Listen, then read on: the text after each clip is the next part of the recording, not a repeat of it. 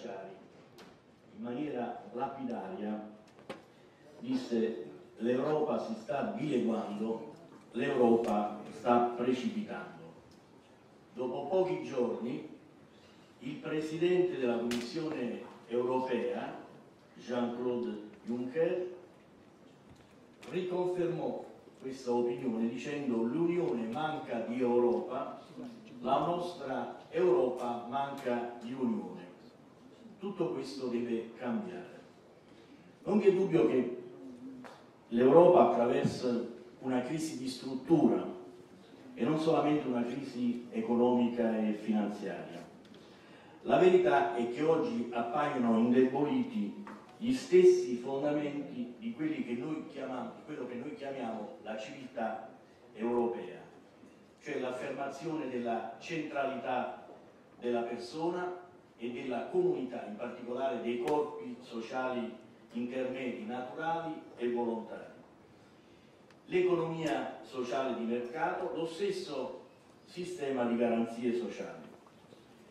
Il nostro continente quindi in questo momento allo stato attuale attraversa una situazione di particolare debolezza, debolezza economica per la crisi economica e finanziaria, debolezza sociale per il tasso altissimo di disoccupazione, debolezza politica per l'eclissi della legittimità democratica. Attraverso in particolare una crisi culturale, morale e spirituale sembrano del tutti scomparsi i valori fondanti della nostra cultura e della nostra civiltà, la stessa identità europea appare offuscata, sono del tutto dimenticate le radici del continente. Fino alla fine del secolo scorso l'Europa era un sogno, era una speranza, il crollo del comunismo, la riunificazione delle due eh, Germania, la liberazione dei paesi eh, dell'est, l'Europa finalmente, come eh, disse Giovanni Paolo II, respirava a due polmoni. La mia generazione, ancora prima degli ultimi anni del secolo scorso, negli anni 60 e 70, sognava l'impero europeo di 500 milioni di abitanti dall'Atlantico agli Urali che potesse competere e tenere testa da un canto all'Unione Sovietica, dall'altro canto agli Stati Uniti d'America. Pian piano poi il processo si è arrestato e sono venuti i problemi. È rimasta perdurante la separazione tra l'unione economica e monetaria da quella politica, che non è mai arrivata, si è allargata sempre più la distanza tra i popoli e la burocrazia di Bruxelles che è diventata sempre più pesante, oppressiva, opprimente. La tecnocrazia ed il mercato hanno preso il sopravvento sulla legittimità democratica e sulle sovranità popolari. Persino i sistemi elettorali continuano ad essere diversificati da paese a paese. Alcuni paesi presentano collegi elettorali ampissimi, grandissimi, altri dei collegi elettorali ristretti e limitati.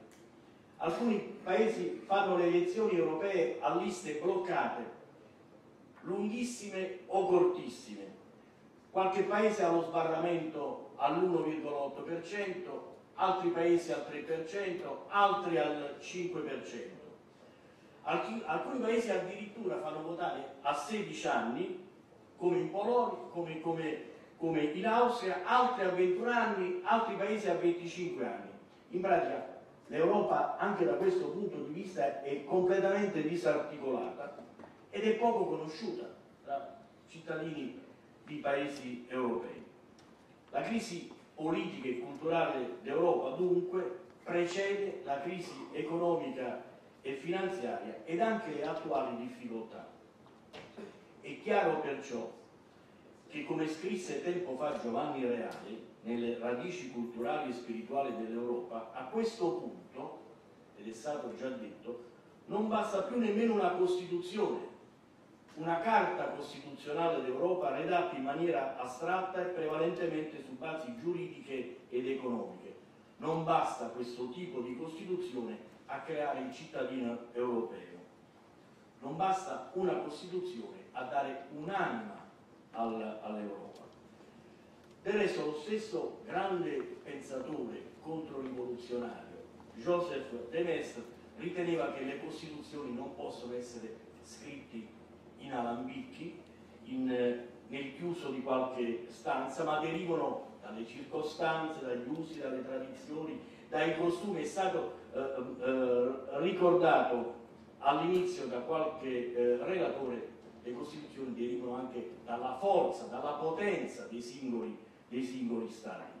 E oggi eh, Domenico Fisichella, il collega e politologo, che ha pubblicato nei giorni scorsi un libro Sovranità e diritto naturale di Joseph De Mestre, avrebbe eh, fatto dire a De Mestre queste parole che vanno benissimo per i nostri giorni. Non bastano carte costituzionali e trattati, che per di più possono essere mostruosi agglomerati di infiniti articoli, e lo ricordava il nostro Presidente, per regolare certi delicati equilibri continentali, ma giova soprattutto la presenza di una comune coscienza nel quadro di valori condivisi pur nella varietà delle specifiche identità nazionali. Finora, in pratica, i governi e le classi dirigenti europee hanno voluto solamente realizzare un'area nella quale persone, capitali e merci potessero circolare eh, liberamente in un'ottica esclusivamente economicistica. In tale contesto si spiegano i segnali di euroscetticismo provenienti dalle singole opinioni pubbliche nazionali, nonché il radicalizzarsi delle prese di posizione degli Stati membri. In effetti l'Unione Europea non può essere solamente una zona economica di libero scambio, essa avrebbe dovuto essere fin dalle origini un organismo politico una terra di diritti, una realtà che non si contrapponga alle singole patrie nazionali, ma le colleghi e le completi. Avremmo dovuto essere, cioè un soggetto politico che non neghi la realtà dei nostri stati nazionali, ma li rafforzi di fronte alle grandi sfide di un orizzonte sempre più vasto. Gli scenari internazionali attuali sono caratterizzati da il movimento e l'emersione di subcontinenti indiano, cinese, africano dell'America Latina. Dalla fine della guerra bipolare est-ovest e dalla nuova contrapposizione tra mondo occidentale ed Islam, questi nuovi scenari dovrebbero indirizzare ed incoraggiare l'Europa verso la uh, costruzione di un soggetto politico forte ed unito. Questa sfida però si potrà vincere solo partendo dalla riscoperta dell'identità europea come elemento fondante delle istituzioni politiche. L'obiettivo strettamente economico ha dimostrato di poter funzionare solamente quando le cose vanno bene. La maggior parte dei paesi hanno aderito prima al mercato comune, poi all'Unione Europea e poi all'Unione Monetaria per motivi di convenienze economiche e quando le cose andavano bene. Appena le cose sono incominciate ad andare male, sono aumentate le reazioni e i distinguo. Quando aumentano i timori per l'incertezza futura e per la crisi finanziaria ed economica, si affacciano spinte populistiche e non do a questo termine alcuna accezione negativa e si affermano visioni particolaristiche che stanno mettendo a rischio l'intero edificio comunitario. Si è detto che la globalizzazione avrebbe dovuto distruggere lo Stato-nazione, i trasporti, le comunicazioni, le reti transnazionali, le organizzazioni internazionali, le istituzioni multinazionali avrebbero dovuto soppiantare i singoli stati nazionali e i legislatori nazionali. Ma alla luce di quanto è capitato con questa crisi, noi abbiamo verificato invece che sono stati gli stati nazionali a salvare le banche, a immettere liquidità nei sistemi eh, economici, il G20, il Fondo Monetario Internazionale, le istituzioni comunitarie non hanno fatto niente finora per mettere un argine a questa crisi. Al momento, cioè, il lasciar faire, il lasciar fare, che si autoregolamenta da sé e la tecnocrazia internazionale non hanno fornito una valida alternativa allo Stato-nazione. Anzi, l'attaccamento allo Stato-nazione, ed è stato ricordato da, da, da, da Petroni, l'attaccamento allo Stato rimane talmente forte. Tutte le rilevazioni, tutte le indagini effettuate nei singoli Stati nazionali hanno dimostrato che il numero di chi si, di chi si considera cittadino nazionale è molto più elevato di chi si considera cittadino del mondo, cittadino europeo e persino di chi si considera attaccato a una piccola patria eh, locale. In pratica solamente gli intellettuali no, snob e radical chic eh, dicono di appartenere a una società più vasta e dicono e si definiscono europei e cittadini del mondo.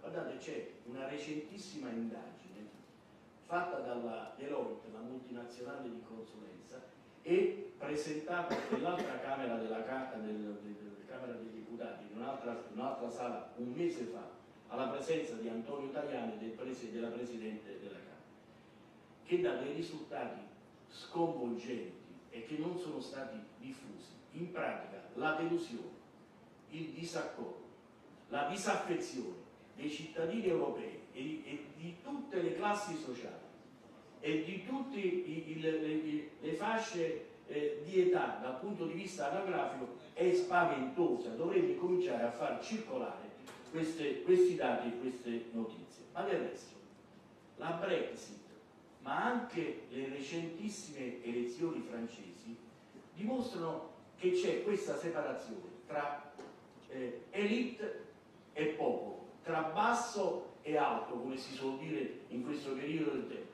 Basta vedere dal punto di vista delle zone come si sono configurati espressi gli elettorati. Quando la Le Pen prende solo il 5% a Parigi e invece fa il pieno di voti nei distretti industrializzati dove c'è disoccupazione e dove l'integrazione è difficile, ci sarà anche un motivo perché Parigi voti in una certa maniera, del resto è lo stesso motivo per cui i parioli qui votano in una certa maniera o via Monte Napoleone voti in una certa maniera, mentre la periferia di Roma voti in un'altra maniera. Ci sarà anche una, una spiegazione eh, di, di, questo. Per tali motivi, oggi l'Europa, ho parlato per l'ultimo, quindi mi prendo 5 minuti in più, per tali motivi l'Europa si trova di fronte ad un bivio. O guarda alla sua storia millenaria, ritrova le sue radici recupera i valori di civiltà, solidarietà ed identità, ovvero è destinata a scivolare verso un progressivo svuotamento delle istituzioni europee con conseguenze negative anche sui singoli stati, anche sulle singoli, singole nazioni sui singoli popoli. O addirittura, ed è stato anche detto questa sera, noi dovremo assistere alla deflagrazione di tutta l'area con il tramonto di un sogno eh, sono molto illuminanti delle parole che il cardinale Ratzinger, non era ancora Papa, eh, pronunciò al Senato della Repubblica proprio sull'Europa, disse la fissazione per iscritto del valore della dignità dell'uomo, di libertà, uguaglianza e solidarietà con le affermazioni di fondo della democrazia e dello Stato di diritto implica un'immagine dell'uomo un'opzione morale e un'idea di diritto niente affatto ovvia, ma che sono di fatto fondamentali fattori di identità dell'Europa. Nel, 1900, nel 1799 il giovanissimo Novalis, uno dei padri del eh, romanticismo tedesco, scrisse un libro, La cristianità, ossia l'Europa, che destò scalpore, gli intellettuali del tempo in un momento in cui trionfava la rivoluzione il giacobinismo, eh, la laicizzazione della, della, società, protestarono perché Novalis eh, eh, chiedeva di recuperare le radici cristiane eh, dell'Europa. Oggi ci troviamo nella stessa eh, situazione. stiamo vivendo la stessa situazione. Eppure, e lo dice un cattolico impegnato in, nel, nel, nel sociale, eppure nemmeno il mondo cattolico sembra rendersi conto di quanto sia assordante il silenzio nei confronti del cristianesimo. Giovanni sono memorabili i discorsi di Giovanni Paolo II sulla marginalizzazione della fede cristiana e della cultura eh, cattolica. In Europa, in realtà, è impossibile compiere una cesura tra cultura, politica, arte ed economia, vale a dire una cesura tra la vita di ciascuno di noi e eh, la storia del, del continente, indipendentemente dal credo di ciascuno di noi, credo politico, eh, etico, eh, religioso, è difficile dimenticare che i valori fondanti dell'Occidente sono un'eredità del cristianesimo, ma del resto basta vedere l'atteggiamento dell'estremismo islamico e dell'ISIS che identifica l'Occidente e l'Europa con il cristianesimo, tanto che ci definisce tutti crociati, siamo tutti eh, crociati. Allora, oggi una sfida che noi dobbiamo uh, affrontare. E questa sfida presuppone però una consapevolezza della nostra identità storica e eh, culturale.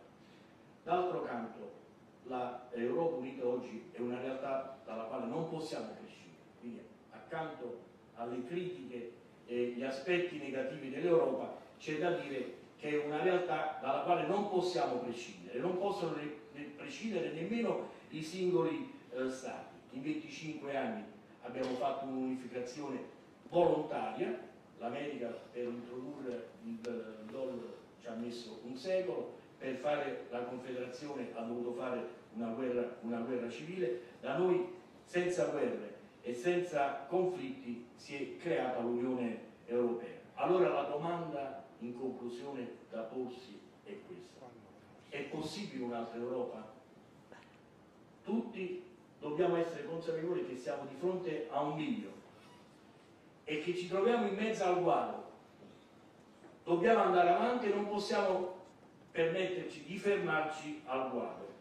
Abbiamo un mondo nuovo dinanzi che sta spazzando istituzioni, opinioni, tradizioni, costumi, persino i trattati, persino in discussione il trattato di Schengen, persino i confini europei sono messi in discussione, nemmeno muri e fili spinati eh, riescono a fermare la massa che arriva dal, dal terzo mondo.